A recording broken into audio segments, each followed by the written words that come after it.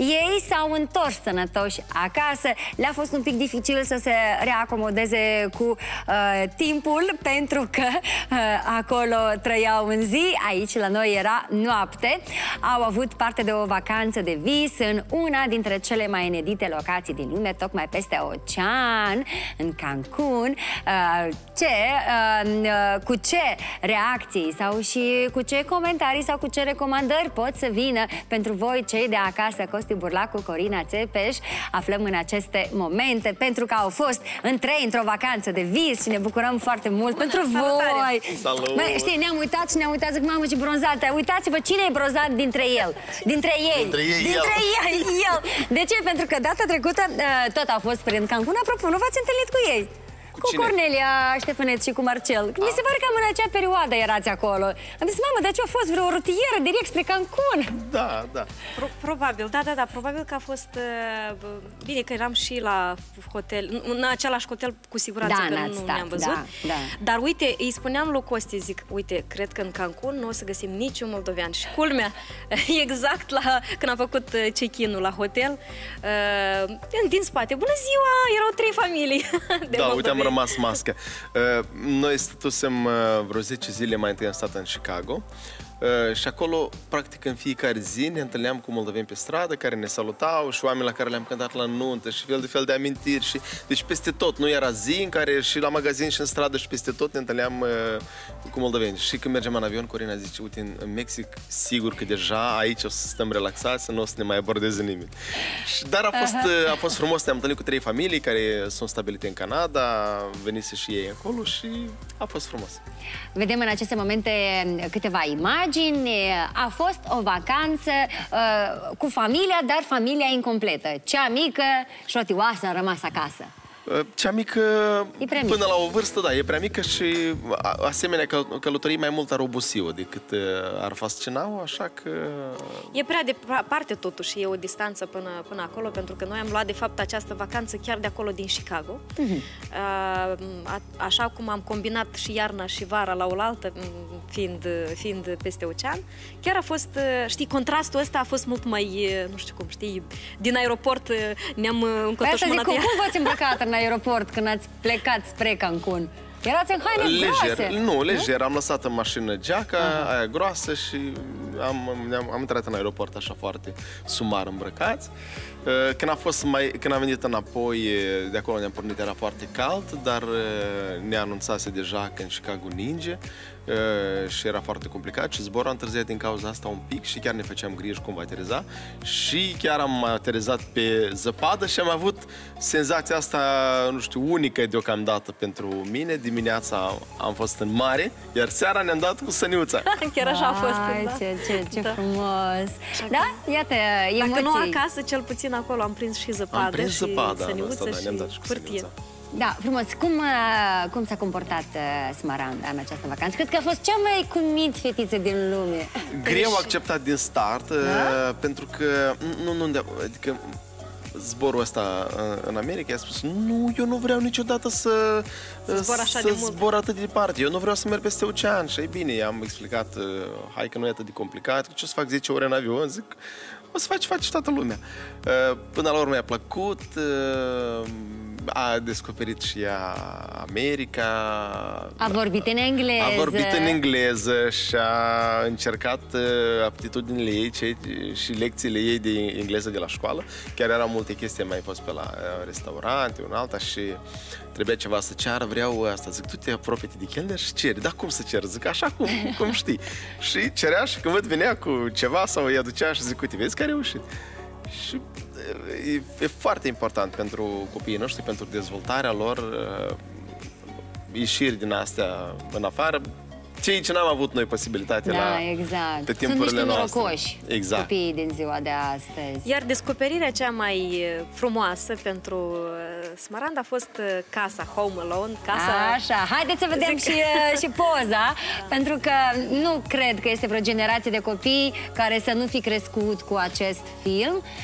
Și...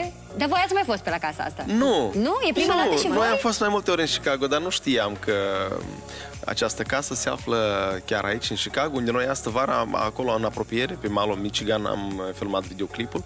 Uh, nu știam, am aflat și noi în prag de sărbători cu câteva zile înainte de a zbura și să știi că nu doar Smaranda a avut emoții și noi așa ca niște copii și mai ales în perioada asta de iarnă când uh, filmul ăsta revie Chiar, în amintirile rulează. noastre, da, rulează și a fost frumos. Uh, Știți că locuiesc acolo oameni? Da, da, da, da. Sărași oameni. în fiecare zi la poarta lor tot stau. A, Da. a, apropo, statul are grijă și le plătesc, le plătesc Da, oamenilor așa am care înțeles. locuiesc acolo pentru deranjul turistic, da, așa că cum ar Ah. veni. Da, Uh, tu știi, uh, Lilu, că în America nu sunt garduri porți, Da, deci da, toate da. casele sunt ca și cum sunt așa. Pe... Iată, unica casă pe care am văzut-o noi cu poartă este casa aceasta Home Alone, pentru că Are îți dai seama, înăuntru. Are un gărduț așa. un gărduț oricum, da, este... Simbolic, dar e un gărduț, că altfel cred că... Ar veni să pună De- mâna de-ai toți noștri, pe... de- de-ai noștri s-ar urca acolo pe acoperiș. Ia da să văd eu. Cum a fost făcut casa asta? Sau pe unde a intrat hoțul acela din Home Alone. Da, um, zborurile. Voi deja v-ați obișnuit cu zborurile astea de, de distanță, dar schimbarea fusului orar e destul de complicat pentru bioritmul organismului nostru. Că noi îi sunăm, hai să veniți, care sunt, care venit, că eu nu înțeleg și zi, noapte. Uh, Eu, eu uh, mă temeam când m-a sunat producătoarea Ina și zice, hai veniți mâine, hai veniți. Era, abia, abia aveam două sau trei zile de când am aterizat și zic, Ina, stai că nu-mi revin, eu pot să vorbesc și prostii, stai un pic, eu ziua dorm, noaptea mă trezesc. Zic, stai să-mi, să-mi revin, că într-adevăr a fost și o perioadă de 17 zile, o perioadă în care noi cumva ușor ne-am adaptat acolo după fusul de acolo. Și după aia când am venit încoace, iarăși un șoc din asta, cum ai spus tu, de, de bioritm și na, trebuia cumva să, să ne adaptăm. Cel mai greu, cred că a fost pentru Smaranda, pentru că ea trebuia Ea să... trebuia să meargă la școală. La școală, Dar și exact. cel mai repede ea s-a adaptat, mai repede decât noi, pentru că n-avea încotro. O duceam dimineața așa cam somnoroasă și seara venea și n-avea somn, dar asta. Mă bucur foarte mult pentru vacanța frumoasă, pentru că ați meritat, ați muncit foarte mult în, Mulțumim. în această perioadă și urmează iarăși o perioadă destul de, de, de încărcată. Da, vorba e, voi no- noaptea ca în America, tot nu dormiți, ziua dormiți în mare parte. Da, data trecută când ați fost la noi am văzut premiera videoclipului, de data aceasta ne cântați uh, melodie pe care o promovați uh, intens în Da, ultima vă, vă, perioadă. vă reamintim uh, melodia noastră, când vorbește iubirea, să aveți parte de multă iubire și în acest uh, nou an. Ei, și uh, nu degeaba sunt cuplu îndrăgostit, cântă despre dragoste de 14 februarie. Unde sunteți? De 14 februarie vom fi la, Paris. Paris. La Paris, iar pe 7 martie vom fi în Bruxelles, în Belgia. Uh, Venim uh, și la Paris și în Belgia, venim împreună cu bandul nostru, cu Festiv Band, așa că ne pregătim, deja am intrat în repetiții de astăzi și suntem în forță. Așa să fie. Acum vă invităm, dragilor, să ne cântați, să încheiem această seară frumos uh, pentru voi. Uh, V-am făcut poftă de mare, de soare. Uh, Până la urmă, cel care muncește reușește să-și satisfacă uh, toate poftele și dorințele. Dorința multora dintre noi este să avem parte de iubire. Iubire multă vă transmite în această uh, seară familia uh, lui Costi Burlacu și a Corinei Țepeș, iar noi vă spunem că sunt ultimele episoade din serialul turcesc Iubirea ascunsă, așa că nu le pierdeți imediat după ce noi închidem cortina emisiunii noastre.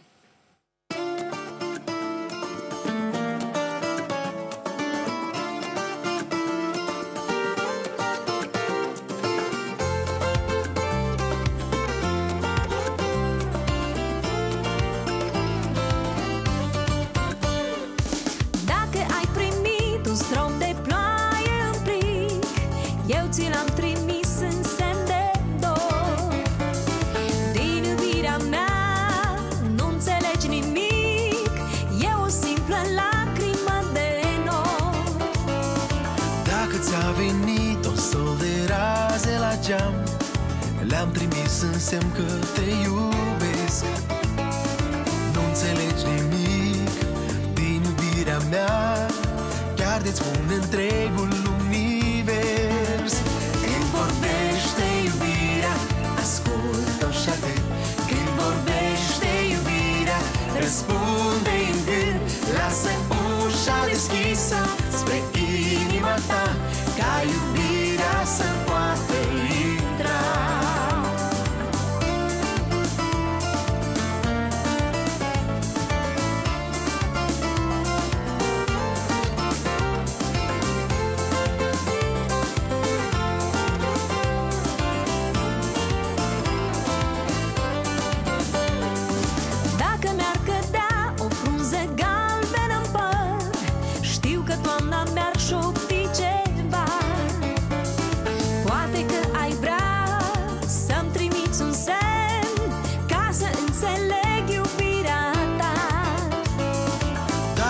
suna la telefon și ai tăcea Te-aș cunoaște fără vreun cuvânt.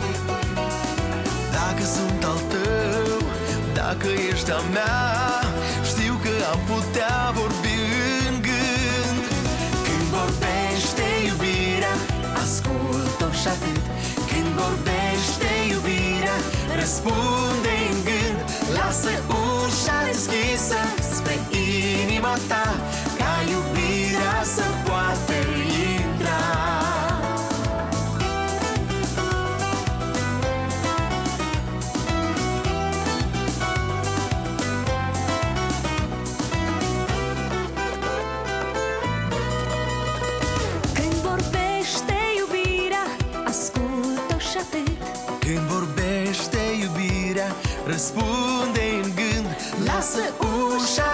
deschisă spre inima ta Ca iubirea să poată intra. Când vorbește iubirea, ascultă și atât Când vorbește iubirea, răspunde în gând. Lasă ușa deschisă spre inima ta